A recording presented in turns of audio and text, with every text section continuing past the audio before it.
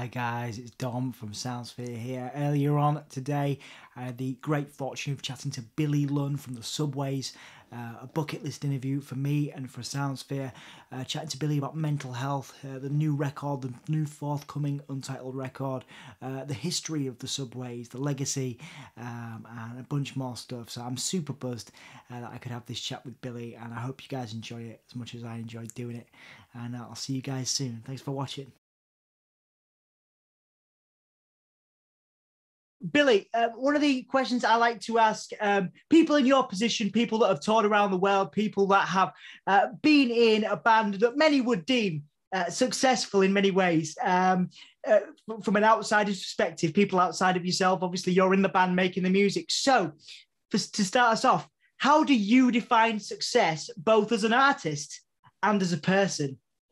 That's a great question because that's something that I've been tussling with for like a number of years now. And I think um, when we first started out, it was really difficult to gauge any sort of perspective on, success because there was just such a whirlwind happening um, and so much going on. Uh, we were on TV uh, in America, like The OC, and then uh, David Letterman, Conan O'Brien, Craig Ferguson were touring America, and then we're in Australia, like sharing the stage with Iggy Pop and um, Jack White, and uh, and then tour in Europe and in the UK. And at the, at the same time, it still felt like, oh God, I'm just not a success. You know, I'm not as successful as this band. I'm not as, as successful as this artist. And eventually, you sort of, I don't know if it's to do with age or just um, to do with like um, becoming more at peace with yourself. Uh, you realize that being able to wake up every single day and play music for a living is by definition success, you know, because I grew up uh, dreaming of being in a rock band. And when I left school, I had like zero prospects. I was still living in my um, my parents' council house in Welwyn Garden City. Um, I remember my mum taking me to the job centre in the town centre and just being like, right, okay, pick something off of the billboard. And I was like, well, uh, linen porter at a hotel, that sounds pretty easy. you know, get up early, get the bus, um, and just sort of uh, package up the dirty linen from the hotel rooms and ship them off. And, and to me, that was kind of successful because I was getting to listen to all my favorite bands whilst I was doing this job. Um, and uh, at the same time, I could finish my job and just check out for the rest of the day and just do what I wanted to do. And, and that was like making songs and recording demos in my parents' uh, kitchen um, and carrying on with the band. And then, you know, every weekend we'd have a gig in London. Um, so, you know, when we were doing all this wild stuff like touring the world, that was like, it, it, even though you're looking at other bands and like, are we really successful in comparison to all these other really successful chart topping bands? And you're like, well, yeah, I am successful because I would come home after a tour and I'd be going, ah, oh, you know, I'm so tired. Be having a pint with my mates, or we'll be out for an Indian um, uh, dinner or lunch uh, somewhere at a cafe in the in the town center, and I'll be like, "Oh, I'm just so tired. I'm so tired," and they'd be looking at me like, "Are you serious? We've been working 24 hours in a factory in Essex." Like, so um, yeah, I think I think really it's all relative, and it's society's done a really, really good job at making us feel like we have to work harder, we have to do better, we have to be better. Um, and you know you won't be happy until your your fingers are bleeding that kind of like you know work until you die mentality yeah and um i think i got to a point in my life where i was like i don't want to be on my deathbed and being like God, I worked so hard in my entire life. What I wanted was to be able to go, God, I was there for my loved ones, and and like you know, I got to spend some valuable time with them, um, and you know, uh, I got to just have these really wild, adventurous experiences. And being in the band has really facil- facilitated that because I've mm. been able to go off on tour and have these wild adventures and see all these different places and meet all these fantastic people and meet all my favorite bands, which is one of the, you know, it's not.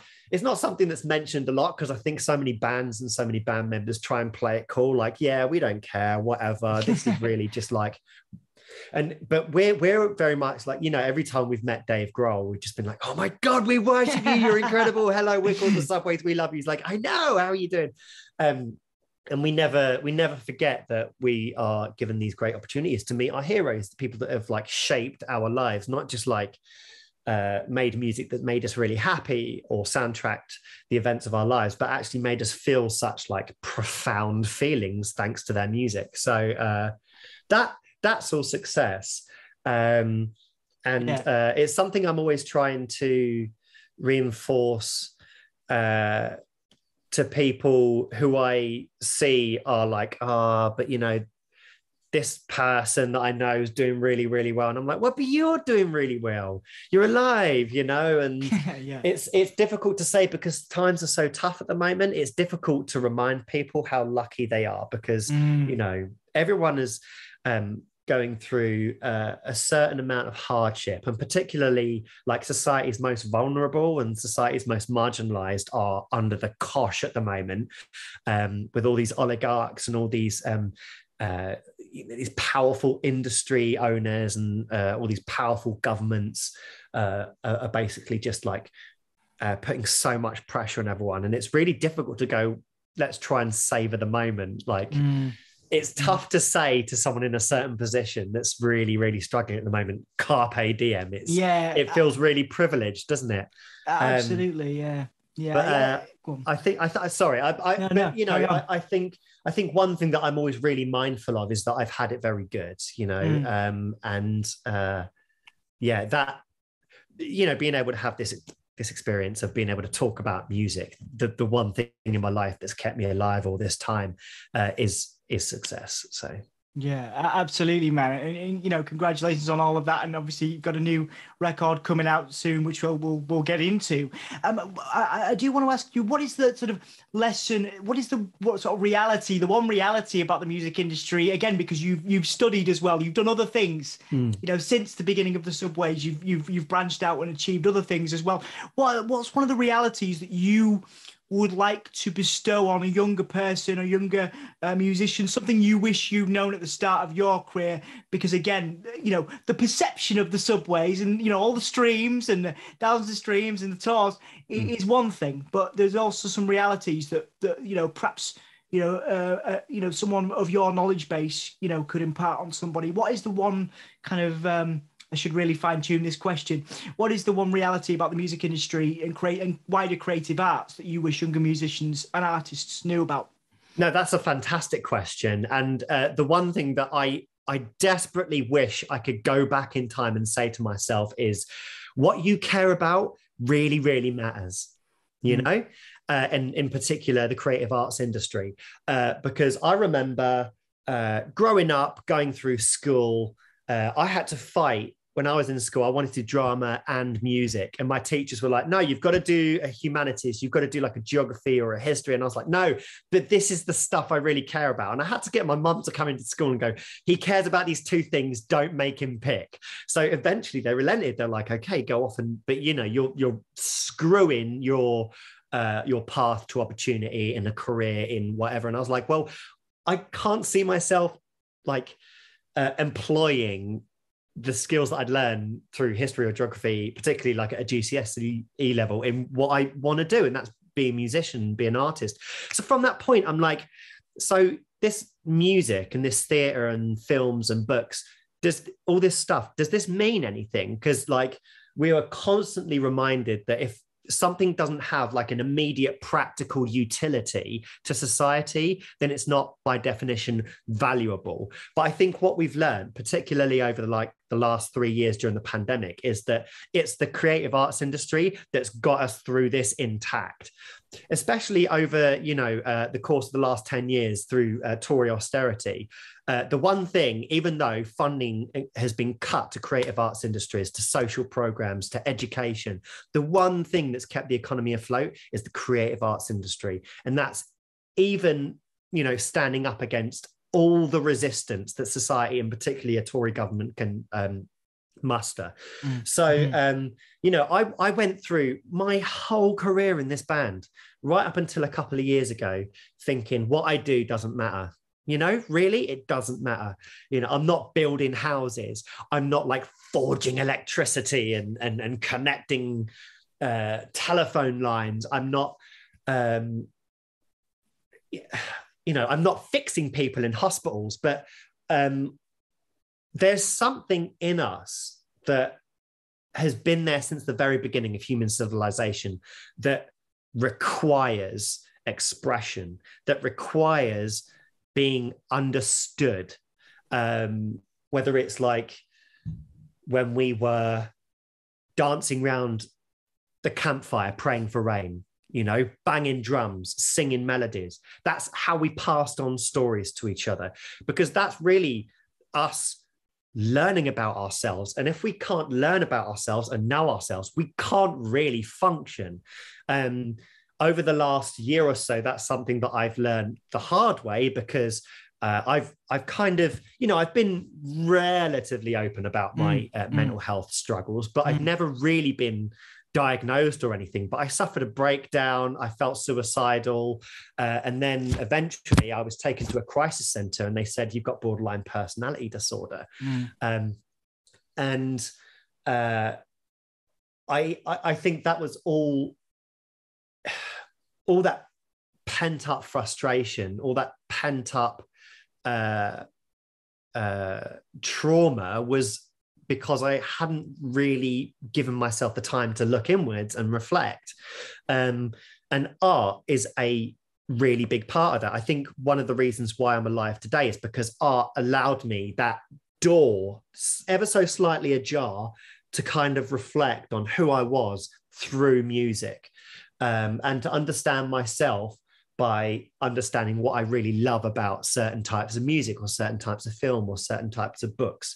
So uh, you know, and even through testimony of, of people that I've talked to over the years, they've said, like, I am being totally honest here. Music saved my life. Mm. I wouldn't be alive here today if it wasn't for my favorite bands, uh, My Chemical Romance or uh, The Supremes or like mm. uh, the words of Bob Dylan. I wouldn't be here. Mm. So, um, if there's one thing that I could uh, emphasize to younger musicians or artists of any stripe is that your art matters, your expression matters. Yeah. Uh, the the people in the arts industry that you value, they matter, no matter what this Tory government says, no matter what utilitarians say yeah. We're not building houses we, but but we're understanding human civilization. Absolutely and saving lives in, in a lot of contexts which is you know something that you mentioned there which i think is is beautiful and that's something i, I want to go on to in my next couple of questions. Um, but but i wanted to sort of take it away from the band uh, for a second and kind of take you back to say when you started your career and the success of young for eternity. If you could look at yourself then you know, and what you've learned about yourselves. Obviously, you know, I, I, you know, it's very public. You have, you know, been more open about your mental health struggles recently and things like that. But from the person you were back then, what what's the biggest, you know, how have you changed and developed? What have you learned about yourself from that person you were up until this point? I think, like looking back, uh, I was so uptight you know um, I, I, don't think i gave myself the chance to enjoy it as much as i probably should have. And uh, i think over the course of the last 15 years uh, we in the arts industry but generally we in society have become more uh, accepting to the idea of, um, of, of being ourselves a bit more. I mean uh, even 15 years ago um, the music industry was so much more hyper masculine, was so much more sort of patriarchal minded. Um, and uh, we were so young. You know, I look at um, I look at how young we were uh, when we made Young for Eternity. Um, and and also in relation to like how uh, how old some of our contemporaries were at the time. We felt like these right upstarts, uh, these real childish, foolish, um, uh, impish little creatures kind of just coming in and playing rock and roll, and all these really mature musicians in leather jackets looking really dead yeah. cool. And we're just like flailing around the stage. Um, but at the same time, you know, even though the, we had this sense of wild abandon, and you can really hear that in Young for Eternity, I was so uptight and I think that really is just by virtue of being in the public eye from such a young age mm. and trying to find my footing, find my sense of identity, uh, um, establish kind of who we were as a band when I, I was still like I don't know. My, my friends were going to university and making all these stupid mistakes and, you know, finding out who they were and living in these tiny cramped little houses with other people and, and, yeah. and gaining these social skills that I I, you know, I, I, felt like I missed out on. I remember when we were first touring Young for Eternity, and all my mates were at university, and um, you know, that I, would see them crowd surf and like, "Hey, how you doing, Sam? How you doing, Chris? Yeah. You're right," you know. Um, and then they'd be like, "Oh, come and you know, come, let's go to a club afterwards." I'm like, "Dude, I've got like 40 more dates to do. yeah. I've got to pack up my equipment and and go off to the other side of the country." Um, so there was this huge um, amount of responsibility. So I do mm. look back and I'm like, oh, I was so uptight. But at the same time, like I, w- I dealt with a lot of responsibility at such a young age. And I think I dealt with that quite well. And we were all so precocious, you know. Um, some of the songs we wrote, some of the performances that we did, I look back and I'm like, how did we do that. I couldn't do that now. and I think um, that has something to do with the like the vigor of youth, doesn't it? Uh, and also like the naivety of youth. Um, I remember when we did our first South by Southwest. I can't remember which year it was, maybe 2005. We're all like 20 years old, and we've done three performances in a day. We got out of out of a van, out of the van door, walked through another door, and we're walking out on stage. And I'm like, "Oh, hey, someone handed me my guitar and we did like an hours long performance again in front of like Seymour Stein and all these big industry pods. And you just kind of went with it. Yeah. Um, and uh, uh, yeah, like I said, as much as I was uptight, at the same time, I was kind of like just going with the flow. Um, and I think uh, you know, you mentioned earlier that I took some time out to go and study. Uh, mm. So yeah, after after I recorded and mixed and we toured our fourth album, self self titled album, uh, I just got over uh, a really bad bout of um, alcoholism, and I was in mm. recovery. And I was like, you know, what? I want to take a couple of years out of the band. I want to go read some books, just not be in a band for a couple of years and, and rest my ears because my ears haven't stopped ringing since I was 10 years old. Since I went, first went to see AC/DC at Wembley Stadium. So um, I was like, you know, I just want to go sit in the library for three years. Um, and uh, being able to sort of just become a, an appreciator of music again, you know, not a participator, but just an appreciator uh, was a really lovely, calming, invigorating, experience. Um, yeah. And I think, you know, if I hadn't have done that, I don't think we would have written this new album at all. Yeah. Um, yeah. So uh, that that was really special. Uh, so um, yeah, you know, I was I was very single-minded when I was younger during young for eternity very mm. single-minded very much yeah. like the band is everything and now i've got to a stage in my life where i'm like music is dead important to me. But you know what? I love my family too, yeah, and I'm yeah. not, I want to be there for them. Absolutely, because um, I, I, feel like I've, I've I've been on a jolly for the last 15 years touring the world, and and, and now it's time to step back and and and uh, hand over the mic and and um, and be there for the younger bands and be there for my friends and family as well. Yeah, which is a, which is a lovely space to be in. And uh, before we do uh, again do a bit more talk on the new record and what's coming up, uh, one of the things I do as part of my day job is work with a lot of young people who uh, come right. from challenging backgrounds and they struggle for motivation. They perhaps come to uh, they come to us thinking, you know, they've done so, they've, they've maybe struggled with addiction, they've maybe right. maybe, maybe hurt some people uh, in various ways. And, and what's the organisation? That sounds amazing. Yeah, so I've done so. It's called the Warren Youth Project, and it's in right. Hull in East Yorkshire. I um, love Hull. Yeah, oh, Hull's great. I was just talking to someone the other day about Hull. I love Hull. Yeah, yeah. So we we end up, we do a lot we do a lot of work with young people that come from there. Great. You know, training people up and, and helping them get skills in journalism, things like that. Yeah. They, they, often come with um, certain mental health issues and they struggle again, mm. you know, they struggle with self-image. Maybe they've hurt, you know, maybe they've upset some people, maybe yeah. they've, maybe they've, yeah. you know, and they're struggling with, you know, the kind of person they they want to be versus the person mm. they think they are. And as, as, someone again who has, you know, has been open about difficulties and challenges that they've been through uh, yeah. uh, recently and, and before, you know, what advice would you have for any young person who who is who is you know feeling guilt and shame for some mm. of the hmm. things they may have done or uh, maybe they're struggling with addiction and they don't necessarily know how to to move past that sure um, i i found that living um, in the moment uh, and and and seeing the day through is is a great help for me. Um, Mm. You know, I uh, I deal with a lot of guilt and shame, you know, because of my addiction, but also because you know um, I've not necessarily been the best person, my best self. You know, um, I've betrayed a lot of people in my life. Um, I've not been there. I've hurt a lot of people in my life. Um, and one thing that's got me through this is knowing that at the very least, I want to be a better person. Mm. Um, and that is something that keeps my head above the water. Um, if you know that you want to be a better person, that is some fantastic light at the end of the tunnel, you know? Um, and uh, God, realizing that we are not complete pictures, Mm. that we are not finished stories, that we are constantly evolving, changing, growing, sometimes regressing personalities. Mm. Um, sometimes uh, we continue to make mistakes, Mm. but I I find that um, knowing that there is space to want to be better. And um, and knowing that there's space for the opportunity to be better is one hell of a uh, you know uh, um, uh, a buoy on which to sort of you know wrap Yeah. yourself around. And just to get a bit of air just to you know hold yourself up for a second and try and find your feet.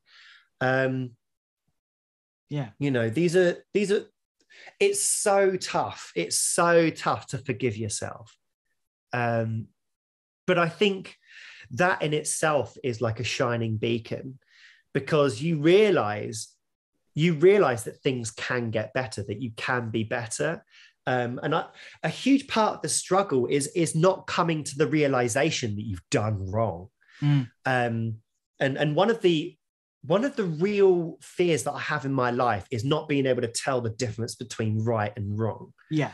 Um, and uh, and I think that that you know I, I I'm constantly unsure of myself, and I'm always asking my wife like, did I respond appropriately in that situation? Because I'm terrible at reading faces. I'm terrible at gauging tones, and um, Mm. uh, my you know my family's um, got a long line of autism uh, Mm. and a long line of uh, bipolar disorder and, and borderline personality disorder and schizophrenia so we unfortunately have a history of being unable to uh, uh, uh, gain a purchase on Yeah. on like where we are in a situation how we're doing and and where we're going um, and that's why you know living in the now and and uh, um, savoring the present moment is is something that keeps me on track because I'm like, okay, don't hold on too much to yes uh, to yesterday, but at the same time use yesterday as Mm. a, a a a um a path by which to kind of gauge the future. But if you reach too far into the future, you're going to overwhelm yourself. You're going to crumble. Everything's going to be unreachable. Make reachable goals. Mm. Mm. Um, Yeah. and uh, yeah, but but the main thing, I mean, the main thing is today. The main thing is knowing what you've done wrong and knowing how to get it right again. Absolutely. You know, those are the three things. Absolutely. Thank you very much, Billy, for, for being so honest about that stuff. Because again, it, it can't be easy to open up, and and, I, you know, and I do respect, you know, like I say, when I was reading those articles, uh, you know, about you opening up on, on your struggles, you know, how difficult Mm. that must have been. How are you feeling at the moment? You know, what, what how are you feeling in this space, in this moment, uh, in this Yeah. time in your life, uh, now, right now? Uh, it's it's um it's difficult because like I feel um I feel like I'm actually like living the real me, you know. I, I I feel like I'm I'm being honest, not just with myself, but with everyone else by saying, look, I've made mistakes. And I think one of the really toxic elements of the music industry is the idea of cool or the you know the mythical rock icon you know this kind of beheld idol uh and and we all kind of liquidate ourselves because they are like the shining beacon of rock and roll this whole idea of the saviors of rock and roll i find it so distasteful this this sheen um this smoke screen that Mhm. artists i think feel obligated to create between them and and, and their their audiences um, is uh, is something is a huge impediment uh, to not just like the understanding uh, of the truth of our art, but also like of understanding our artists as people who are flawed like everybody else. Trust me. Yeah. Okay. um, and I feel like um, I finally feel part of a community, you know, because mm. I always felt so, I've, for my entire life, I felt isolated. And mm. I, I, think that has something to do with my maybe um, the way I think in my mental health condition. I, I, mm.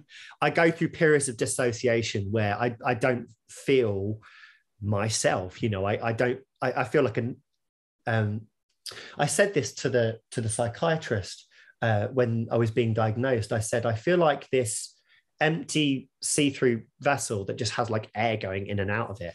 Mm. uh, and i felt that for so many years um, and being honest with people as fr- and it was the most frightening thing i've ever done owning up to my I mistakes. yeah. Um, pressing that button with my wife sat opposite me on a table going i i'm not going to be able to wake up tomorrow if i don't do this Mm. You know, I was like, if I don't do this, I don't think I'm going to be able to live with myself. I have to be honest with people about who I am and what mm. I've done. And and she was like, that's amazing, go for it. But it as much as I wanted to do it, my yeah. God, I just did not want to do it. But I did it. Um, and I've never really looked back because uh I I feel like I'm the truest me I can ever be in my entire life. And now I feel like uh, the the that tomorrow is uh, an even better opportunity for me to write better music and, and be a better person um, yeah. and to contribute to the culture that I, I care so much about. Um, and you know, we've always been a band that has been, you know, on the stage, uh, but at the same time, um, whilst we're on the stage, we we want to break down that barrier between us and and the audience. You know, we're constantly trying to engage with the crowd and audience participation. And when we're off the stage, we're always going out front and seeing how people are, whether they like the show, and you know, we make good friends with our fans.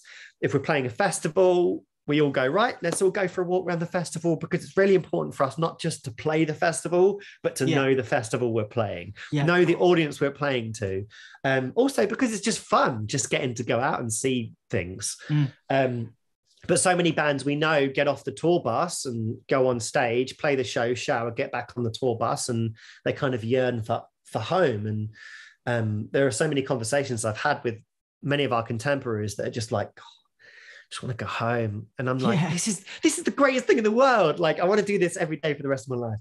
Yeah. Um, so uh, you know, we engage a lot with our uh, audiences on Twitter and Instagram and Facebook, um, uh, for better or worse. So for me to um, to finally be, on, be honest and open with people was it, it just felt like uh, the corollary of, of, of kind of like the philosophy we've set from the very beginning of being in this band. Yeah. Um, and hopefully um, you know I, I, don't want to be arrogant enough to presume that you know my actions will influence or inspire anyone else. But if it can help someone realize that they are in the same position and maybe they want to be honest too then um then it you know that's been worth it because um all i want to do now is just help people. Yeah. Um and yeah. and uh and just be a better person. So yeah that's awesome, man. What, you know, I wish you the best luck with it, and it's a it's a pleasure to to sit with you here today and hear you reflect like that as well. You know, thank you very much for your honesty. Well, thank you for asking the question, Dom. Uh, it's you know these are really interesting questions, uh, and I uh, think they're all so essential. So uh, it's my it's my absolute pleasure. Uh, two or three more uh, promo questions for, for the band because we've we've, we've not done that yet. Um, obviously you mentioned you know mentioned a little bit about the future and, and the new record coming up. You know as well. Obviously the band has gone through some changes recently. Obviously founding member uh, Josh leaving and Camille joining. Yeah. How, how again, you know, uh, very because you can't speak for the rest of the band, but how are you feeling? How are you personally feeling about the future uh, with this change and obviously a new new music on the horizon? Um, I feel like um, I feel like a sense of renewal. You know, uh, um, Josh and I, being brothers in this band, you know, we've known each other since Josh came out of our mum's womb and we grew up together and we, you know, fell in love with uh, the same football team together and we, you know, we formed the bands together. We went swimming together and that's where we met Charlotte, you know. So uh, we've we've we've been through so much together. And when Josh decided that he wanted to leave the band, um, my heart was broken, but at the same time, I I I fully understood that it was so important for him to be there for his girlfriend, for his daughter, and to go off and to pursue his own musical dreams, whatever they might be. Um, and he's actually now um, studying classical civilization and he's acing every single essay. You know, I I read English at Cambridge. He came in the other day uh, uh, whilst I was at um, uh, my dad's and said, "Oh, can you just read through this essay? Be- better than any essay I've ever written." Amazing. and so I'm so I'm so proud of him. Um, and as soon as we got Camille and uh, uh, we played our first song with Camille, Charlotte, and I looked at each other and we just went, "Well."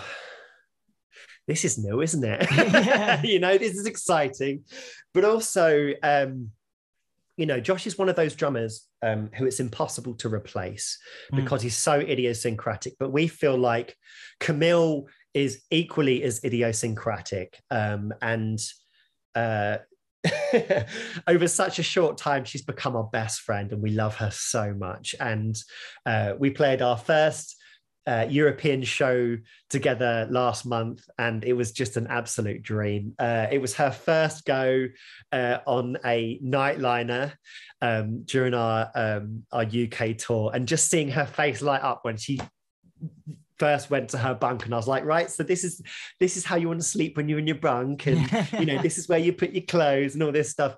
It was just, it felt like it felt right, you know, yeah. it felt so right. Um, and uh, it's just so nice having the um, gender dynamic of the mm. band uh, uh, change um, in the way that it has, um, because Charlotte has gone so long as a woman in a, a very very male dominated uh, music industry.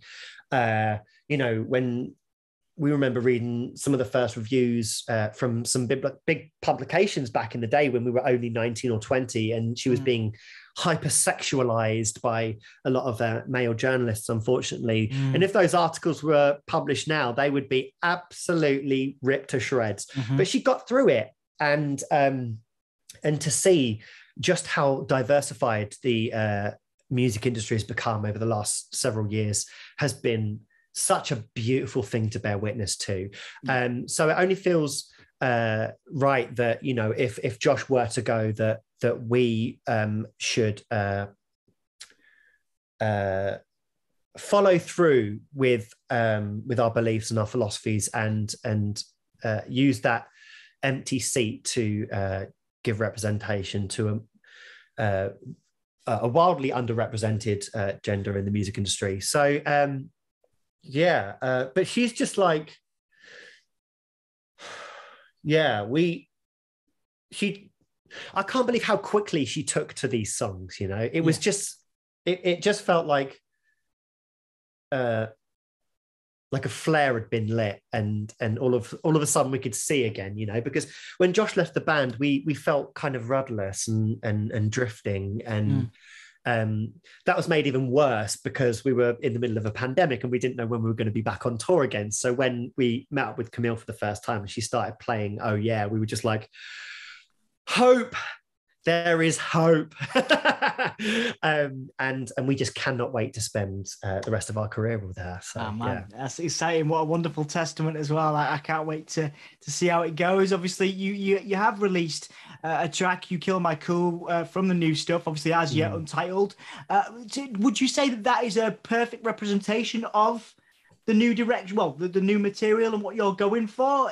Or is that just a taster uh, it definitely sets the tone. I mean, uh, the synths that you hear in the mm. intro, they are expanded uh, on uh, in some of the songs in uh, the rest of the record. I mean, um, I think because of the pandemic and lockdown, and because uh, you know I spent those years at university just being a music music appreciator again, um, I decided, you know what, we've made four records with just drums, bass, guitar, vocals, backing vocals. Let's let's try something new. Mm. I got lost down this very dark alley of uh, Roland drum machines and synthesizers. I fell in love with the Juno 60 and the 808 and 909. Yeah, um, so we have uh, used uh, a number of those sounds on the record. Um, the best song we've ever written is yet to be released, and I can't wait for everyone to hear it. It's actually the title track of the record. Um, but "You Kill My Cool" is is indicative of what's coming, but um, it's still like I listen to the album and I'm like, each song has a vein of uh, consistency with the rest of the songs on the album, but at the same yeah. time, it's its own personality yeah. or its own color. So you kill my cool is that gritty, dirty, sleazy friend that we have, uh, and I don't know what we're going to choose for the next single, but there are some hella poppy songs. I mean, I was listening to um, Speakerboxxx, uh, Big Boi's uh, uh, uh, Big Boi's disc on the um, Love Below Speakerboxxx uh, OutKast double album, and um, uh, one of the songs is hugely influenced by uh, the way you move. Yeah. Um, and at the same time, I was listening to a lot of uh, Deftones' Diamond Eyes record, which yeah. is like I Beautiful. think in my top top five all time yeah. favorite records. Like, just that's been I, have played that at least once a week for the last five years. yeah, man, love it, love it. Oh, it's just so so great if, if you're into your uh, sort of 80s synths, have you heard that Crosses um, side project of Chino's? No. Oh. oh, dude, it's um, it's um, Shaun from Far and Chino from Deftones, and they do they're doing electronic music. It's just called Crosses. It's um, that's my jam, uh, oh, dude. Like you, hopefully you'll enjoy it. Go let, let me know on Twitter or something. If I will, because it's uh, it's fantastic. Anyway, sorry I interrupted you. No, that's uh, great. I, I'm all all for this. I mean, I one of the great things about um, the last couple of years is um, falling in love with Bandcamp because I've, uh, you know, I've got my account on Bandcamp and I got heavily into synthwave and you know, like this kind of retro synth music. There's kind of like a fusion of uh, 80s sci-fi soundtracks yeah. and uh, and all the like the new wave sounds that came from the 80s um, and that's really influenced the new album. Uh, uh, one of the songs uh, on the record is like really, really rocky, but the chorus just suddenly goes Synthland, you know. Um, and then at the same time, we've got like this really, we've got a seven minute postmodern track about like the uh, uh, the discovery of the self or like the dismantling of the self. So there, it's like cut into three parts. Uh, the first part is like a 70s rock track. The second part is like a 80s new wave track. Uh, and the third part is like this misfit style punk nice. uh, tr- um, uh, movement. Nice. Um, and it ends with this uh, Antonin Artaud sample that I got from this really old vinyl uh, that I found in a charity shop of Antonin Artaud speaking. Nice. Um, so uh, yeah, it's it's wild. It's a wild record, and you know, going back to the, I'm I'm constantly reminded of uh, the NME review that we got for Young for Eternity. They said um, something to the effect of like uh, this album's schizophrenic but the subways will find their niche eventually and mm. i've always had like this real problem with that because I've never wanted to find a niche. I've always wanted to be wildly kind of like do a bit of this, do a bit of that, like pulling all these things together because life is so much more than kind of conforming to classification. Yeah, man. Um, and I feel like uh, with this uh, album, we are proudly wearing our schizophrenic uh, um, uh, uh, label, you know. Um, so I, I, hope people, I hope people enjoy it as much as we um, had fun making it. You know. Uh, I know that Charlotte had loads of fun because Charlotte's a big fan of harmony, big fan of keys and that kind of thing. So I'd have this bass line or this guitar line, or Josh would have this drum track. And because we're in isolation, she's up in Sheffield in her loft, like spending 10 hours of the day, like layering all these vocals. And I'd sort of get 30 or 40 tracks and try and figure them out. It was, it, you know, piecing this album together was, uh, was like painting uh, uh, this this portrait, but out of you know jigsaw puzzles and trying to paint the jigsaw puzzle and fit it in Yeah. you know it's just like how is this coming together but eventually once uh, adrian bushby mixed it and we listened back to it like yeah this works Yeah, nice This fun, man. Nice one. Uh, it's exciting. It's such an exciting time for you, man. I'm so buzzed. Um, uh, before we finish up, uh, obviously, you know, what is your message to the people that have been there for the subways, been there for you? Uh, you know, anybody that supported you from the beginning of your career up until this point, and also to those that have yet to discover you. Yeah, um, I'd just like to say thank you so much for sticking around. You're absolutely incredible. Um, and uh, to those who haven't yet heard of us, uh, hi, we're the Subways, and I hope uh, our music makes you smile. Um, and more than anything, uh, let's lift all the new bands up that are coming through at the moment. They're absolutely incredible. There has never been a more difficult time to be uh, in a, uh, a new band. So let's try and support each other as much as we possibly can. Fantastic, fantastic. And, and anything you'd like to plug, you can plug your own stuff. You can plug anything you anything the band's doing, or any bands that you want to promote. Oh, cool. Yeah. Well, uh, firstly, there's this um, uh, queer uh, synth pop duo called Cat Bear, who are based in Brighton. They are unsigned, and I think they're making some of the most incredible music going at the moment. Uh, they, I feel like they've uh, tapped into my heart. it's like they, they've, they've, they've seen a window into my soul, and then they write a, write a song, and I'm like, oh my god, you have seen me. Um, they they're just absolutely amazing. Um, but also, uh, if you're a, a a new artist or you're in a new band and you want someone to record your mix your music, um, I'll be more than happy to do that at my uh, new studio, which I've just set up. So Fantastic, yeah. fantastic. Is the studio public knowledge? Like, where where can people go to find yeah. Uh, so it's actually uh, my studio is in a room in uh, a studio called Farm Factory Studios in Welwyn Garden City. Uh, but you can get hold of me at billylunproduction.com, I think. awesome. I think that's it. Brilliant. Well, Billy, thank you so much for your time today. Like I say, uh, bucket list one for me. So uh, thank you Oh. so much for your time and your energy as well and your honesty. Oh, well, uh, thanks for the great questions and uh, thanks for wanting to interview me, Dom. It's been a real pleasure and I hope you have an amazing day.